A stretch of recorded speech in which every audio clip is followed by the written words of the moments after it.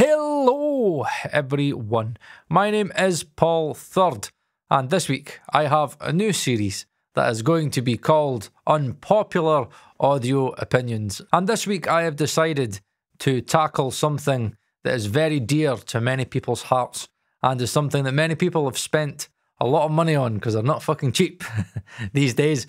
However, I think it's important to give an opinion, and that's all that this is, is just an opinion. It's just a, another perspective. But we're kind of going to go into the logic of using NS10s and why I personally believe that advising anybody to mix solely on NS10s or just advising a beginner to mix on NS10s, I, I think it's completely illogical, doesn't make sense.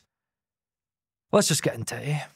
Right, so the original NS10s were released in 1978 and they were released mainly as consumer hi fi speakers, not studio speakers, consumer hi fi speakers. In regards to the sound of the original NS10, it had a frequency range of 85 Hz to 20 kHz, but had a roll off beginning at around 200 Hz and a 5, that's right, you heard it, a 5 dB boost around 2 kilohertz. Many engineers praise the NS10 for their fast transient response. However, many people found them just ridiculously bright, which is why the whole story came out about Bob Clearmountain taping like tissue paper in front of the tweeters to try and dampen uh, the high frequencies and make it less harsh. However, what they didn't know at the time that it wasn't actually absorbing high frequencies; it was just basically reflecting back in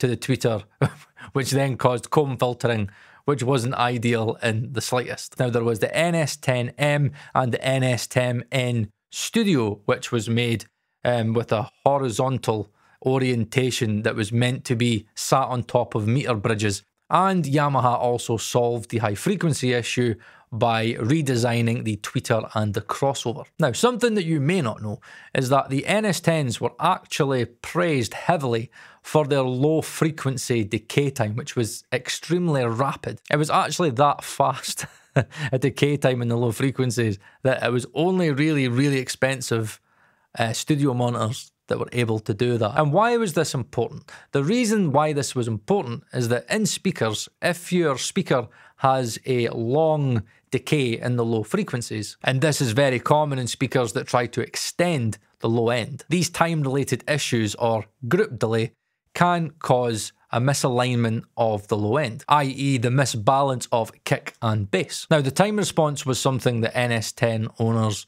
revered, mainly because it exhibited a higher than average step function, which basically meant that the transients were more perceived. Many would say that the bass was fast and kind of came like the whole kind of statement of like NS10s were like the sound of rock and roll punch. Distortion wise, it was actually better than average for a speaker its size, but obviously you've got to think that it, it didn't have uh, much uh, low frequency content. However, for the frequency range that it did uh, mainly produce, it was very low distortion, which at the time was actually a very, very, very good thing. Now, many engineers would say that this emphasis on the mid range almost acted like a magnifying glass to the essentially the most harshest kind of frequency range, like to the human ear, which would result in better translation to the monitoring systems of that time, which were essentially all kind of horrible, honky, uh, mid rangey systems with no low end or no top end. Like, I'm going to be 35 this year, and even I grew up with cassettes and VHS and shitty CD players and even really shitty MP3s. But if you think about like 80s and early 90s, and we think about the cassette era and cassette players and just like the hi-fi systems of that time, there wasn't normally a lot of low end unless like your parents had enough money to get like a sub or again just a sound system that had a decent bass that didn't overly fucking distort its own arse. And that is also why the headphones of that time all had hi-fi curves. Actually, fucking most headphones still um, to this day have hi-fi curves, but it is something that's becoming less and less and less. But you know, especially in the late 80s and the 90s, you know, the headphone technology was shit. And they all had hi-fi curves because that was the sound of that time. It was a massive learning process for many engineers, but what made it easier for them was the fact, and this is what I think many people forget, is that when you look at all these studios and see all these photos and you see the NS10s on the meter bridges, most studios would have mains in the walls that they could go to to check the low end and just to give themselves another reference. And they'd listen really loud on the mains. So these engineers knew what good records sounded like on very, very good speakers. And without context to the high quality, you wouldn't really have the context to understand how NS10s should actually sound. Think about the low end, that there was no low end, so that you needed to have workarounds to be able to effectively judge the low end. I've heard people say that if the low end sounds really good on an NS10, then there's way too much low end. No, I mean, it's backwards thinking. I've even read of people putting their hand on the woofer to judge the low end. Like, could you imagine having to do that in today's modern world? And that's something that you need to remind yourself, right? These speakers are not ideal. They never were ideal. They were basically kind of shoehorned to fit into like the audio industry. Everybody thinks that everybody used NS10s, when in actual fact they were despised by a massive, large portion of the audio industry. Like, not everybody used NS10s. And when, when I say they were despised, they were despised. And I will read you some snippets of these interviews when people talk about NS10s. Lee DiCarlo. But then you run into the trap of when you listen on a pair of NS10s. You get a lot more guitar than you thought you had, then you bring the guitar down, and when you listen to it on something else, it all goes away. Jerry Finn. NS10s are sort of a necessary evil. Most producers and bands I work with are used to them, so that's what they want to hear. And I have heard this from so many engineers that were in that period. I remember me and uh, Ed had Tim Palmer on the Working Audio Tools and we asked them about NS10s. And I remember I was thinking about, well, should, like, should I get NS10s? I see lots of people talking about them. And he was like, Paul, my advice is don't touch them with a barge pole. And honestly, it wasn't just Tim. Every engineer, I mean, every engineer in my circle that I spoke to told me not to buy NS10s. Nearly all of them don't use NS10s, or if they had used them, thought they sounded shit and didn't like them, or did use them and stopped. As we got into the noughties, you started to find that audio quality was starting to get a little bit better. The formats that we were listening to audio on, like when we think about CDs and then DVDs, Blu ray, streaming, devices that were outputting audio were getting better. Even you think about like PlayStations and Xboxes again. They, I remember when the PlayStation came out and it had a DVD player in it. I was like, oh, oh my god, this is this is fucking amazing. to think back that having a DVD player on a console was like a, a massive thing, but it was to me. However, that advancement of technology, and we think about even headphones, not how I talked about how headphones did sound pretty shit and they all kind of sounded hi-fi. 2001 was when Sennheiser first released the HD600. Now we all know the HD600, but it came out in 2001, and that was a big release for the sound of headphones in regards to, say, like a studio environment. And it was really around kind of the noughties where neutrality became the new reference. You wanted just enough low end, but not too much. And you wanted highs, but you didn't want it to be dull. You just wanted a middle ground, which we call neutrality, which when we look at kind of speakers these days, again, we're looking for almost a flat frequency response. And in the early noughties, many people found that from KRK, now, not the Rockets. as soon as I said KRK, everybody be like, the Rockets sound shit. I know, I know, I grew up with the Rockets. I know, I had Rocket 5s, Rocket 6s, Rocket 8s. Ed, his first thing were Rocket 6s. I know it's difficult to think that KRKs would be as popular as NS10s, but for a long time, those early KRKs were very renowned. And it wasn't just KRKs. Again, Dynaudio became really popular. Genelecs were even more popular than they were before. I remember when I was at college, like their big speakers were the Genelecs. They were like, yes, th- these are the best speakers that we can afford. And again, these speakers were made to sound good, but also made to sound neutral. And if anybody thinks I'm bullshitting about this, I will now hark back to the Mixing Engineer's Handbook. Here are two snippets from two big engineers. Ken Hahn. We've used KRKs a lot for the last five years. That's pretty much what we've determined to be like an average stereo speaker, yet it also translates to your average TV with built in speakers. And then the big one, Mr. Massenburg himself. We used KRKs for the Journey record because they were rocking little monitors. Light them up and it's a completely different mix that what lights up the Tannoys and Yamahas, except whatever lights those up makes for boring mixes. I'll go to Yamahas to hear what the idiots at the record companies are listening to. Like when I said that NS10s were despised by a lot of massive engineers. Like they were loved by a lot of massive engineers, but they were also despised by a lot of great engineers. When I say NS10 is like the epitome of Marmite in the audio industry, there's your Marmite. And with the rise of the modern engineer, you started to see less NS10 and more KRK. For example, my lord and saviour of mixing, Mr. Spike Stent. Now, Mark was on KRKs for over 20 years. He was on the KRK 9000s. I remember he had the dual driver ones. I can't remember what they were called. I remember, I think he had V series and he had smaller KRKs. And even Tura Medina, who me and Ed had on the Working Audio Tools podcast, arguably one of the biggest Latin mixers in the game today, basically based his entire career on KRKs. And then he built his own speakers. But again, he was a big, big endorser. I think it was the V series KRK that he was using. And even long term NS10 users like Dave Pensado added the KRK E series to his arsenal because NS10s weren't enough anymore. A lot of these engineers understood the sound and they knew that they could get good mixes out of them. However, the goalposts had shifted. Think about Tom Lord-Alge, Chris Lord-Alge's brother. He was on NS10s like his brother for a very, very, very, very, very long time. And then he added the barefoot micro mains.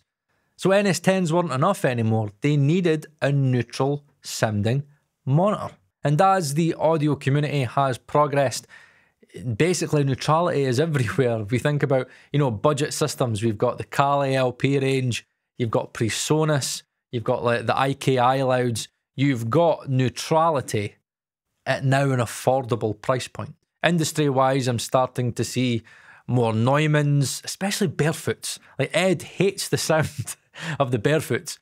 But then I found it funny because when Manny Marroquin talks about the barefoots, he loves them. I think it was was it the micro mains? I can't remember what it was. I know a lot of people got into the micro mains, but I've heard a lot of shit about uh, the barefoot.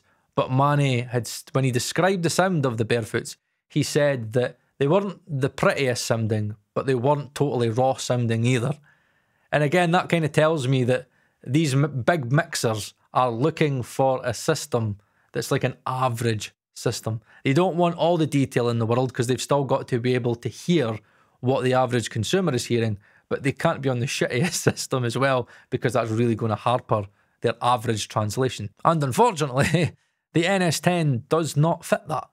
It does not fit the mold of what's required for translation today. And even if we just think about low end, the average consumer is able to listen to so much low end now. It's crazy. Like if we think about when uh, Dre came out with the Beats, like it was so bass heavy. And even right now, we think about the Apple AirPod Pros, arguably the best selling like earbuds of like this generation. They have an adaptive EQ built into them, which from what I understand essentially leans in to the Fletcher Munson curve. So the louder you listen, you get less bass and less highs. And the quieter you listen, you get more bass and more highs, which means that regardless of the level of the consumer, they are getting the same sound, which is very important to understand when you know that the AirPod Max, so the Apple headphones, their frequency response is it basically spot on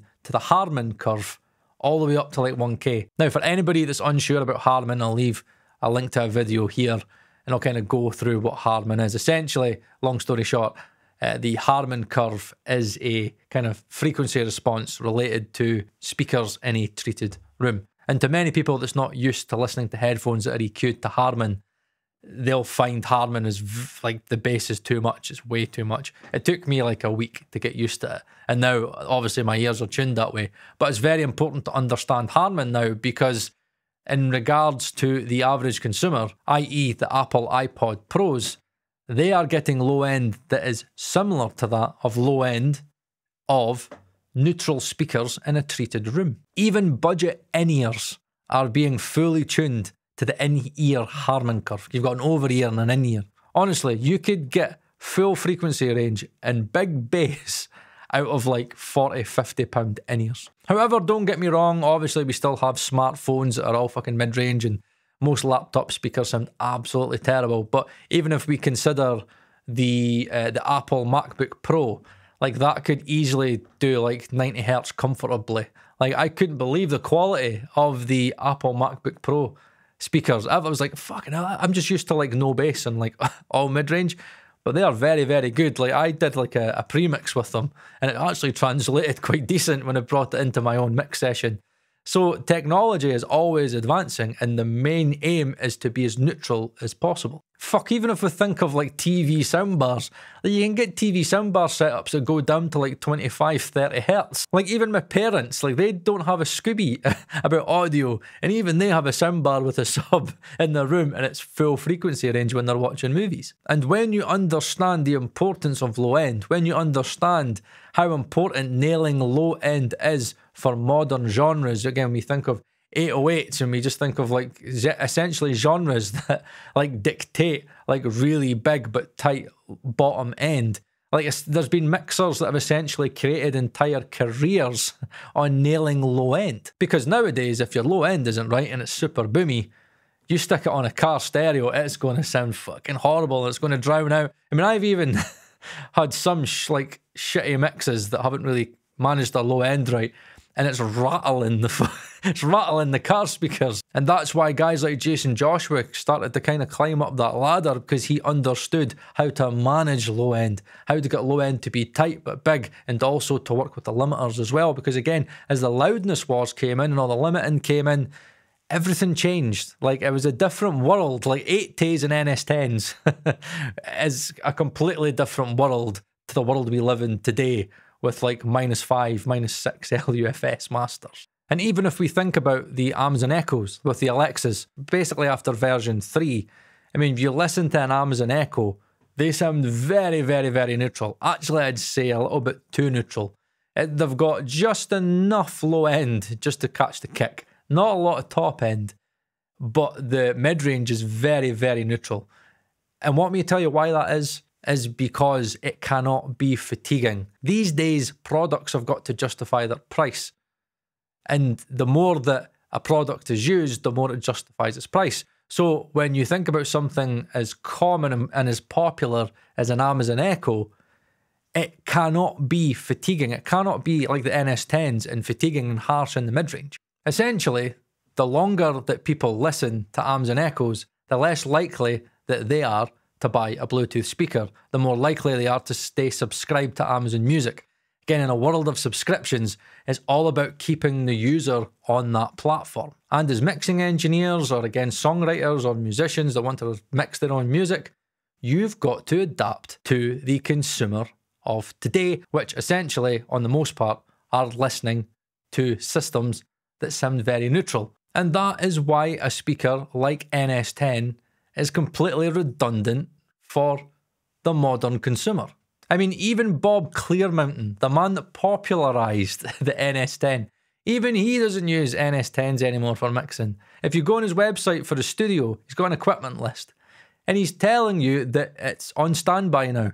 It's in a fucking cupboard somewhere gathering dust because he replaced the NS10 with the Yamaha MSP7, which is essentially a very neutral sounding speaker. It doesn't suffer from the bass loss of the NS10 and it doesn't have that 5 dB boost at 2 kHz. And when you put it into that context, that even the man that made the NS10 popular, that everybody, when they talk about NS10s, normally talk about Bob Clearmountain, when you put it into the context, even he's not using them. Surely that's telling you something. Now, many of you will be asking, Paul, well, what do you advise that I buy then? What do you advise that I look for in a studio monitor?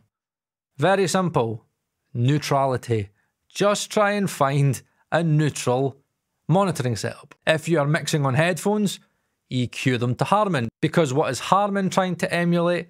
the sound of speakers in a treated room. If you're looking to buy speakers, aim for as flat a frequency response as possible, which is most fucking speakers that come out. Again, you look at the Adams, Kalis, Presonus, fucking name them. They're all aiming to be as flat as possible. However, I will say that just because it can measure flat on a frequency graph doesn't mean that they all sound the same. All monitors have their own sound, and the more that you go up that chain price wise, you'll find that you do get a better quality of sound. And again, it's all about again, you know, cabinet resonance and again, watch the present day production guys, man. Like they've done lot. I mean, I remember they filled. Did they fill the Kalis with concrete? and they were like, yeah, ah, this has actually solved some of the resonance issues. However, saying that, I still think Kali LPs are way better for somebody starting out than trying to fucking st- start mixing on NS10s. Instead of trying to force a mix to sound great on like a black box that isn't really meant for today, try and invest in as many different monitoring options as possible. Many people have this thing where they're fixed on one speaker. I'm going to tell you something right now. There is no such thing as a perfect speaker. It does not exist. There is no such thing as a perfect headphone. That's why I mix on like three different pair of headphones my HE1000 SEs from HiFiMan, they're like two grand. I mix on them like 80% of the time because they have the soundstage in the best resolution that I've ever heard. However, you either get soundstage or you either get like punch and transients. Like it's a compromise. You normally don't get the two. That's why Warren Huart has his Genelecs and he has his Reds. When I was in Warren's old studio in LA, I was listening, like doing EBs back and forth, and the Genelecs reminded me of the HE1000 SEs, and the Reds reminded me of the Ananda Nanos. You know what I mean? He had two different sounds. There weren't just two speakers that sounded the same. That's pointless. He had two speakers which gave him a different character, a different sound, helping him with translation. That's why I've also got the Allo S5X, and I use that with dSONIQ Realphones because it's got all the emulations. So I'll sit and listen to a pair of NS10s. I'll sit and listen to a pair of uh, mono cubes, which are like Auratones. I've even got monitors behind me. I've got the Kali INUNF. I've got my Atmos room. I've got the PreSonus Eris Studio 8s coming. I like, and I'm even thinking about getting Apple AirPod Pros, just so I can kind of hear what everybody's listening to. And you may hear the old saying of, "You just need to learn your monitoring. If you learn your monitoring, you'll be able to mix anything. When the reality is, you can't mix what you can't hear. if you're on NS10s, you're not going to hear the low end. So you're going to have to invest in a sub, which many people did, and they said they got better results. But as I said about the difference between Warren speakers and my headphones, there's different details. I mean, you might get a great punch from, say, the NS10s, but you e- easily could lack the fucking soundstage. You know what I mean? And these are all things that are important to understand to build up an average. There are obviously mixers that can make NS10s work. And if you learn the sound of NS10s, you may be able to make it work. But what I'm going to tell you is that it's going to be a fucking bollock for you. And if you're a beginner, it's going to completely confuse you. And you're going to wonder why the mixes aren't translating. Why? Because you don't have the audio journey. You don't have the context of what a mix should sound like on a high quality system. You don't know what some stage should sound like. You don't know what good low end should sound like. You don't know what good transient response sounds like. You don't know what tight, fast low end should sound like. Again, you can't mix what you can't hear. NS10s could be a great secondary reference if you understand the sound. Again, because they're so harsh, you might be able to understand that there's a certain level of harshness to an NS10 and you can have a certain purpose in mind. And that's where I think that an NS10 would be good for somebody if you have a set purpose with it. But you don't need to buy an NS10 because if you want the whole kind of NS10 thing, I know you won't get like the, the fucking the, the fast kind of low frequency decay time, but if you want just the mid range, just get a high pass filter and a low pass filter, add, add a 5 dB boost at 2K, and it'll kind of give you a, a rough idea of that kind of harsh mid range kind of push sound. And there you have it. There is my unpopular opinion regarding the logic behind buying NS10s in 2024.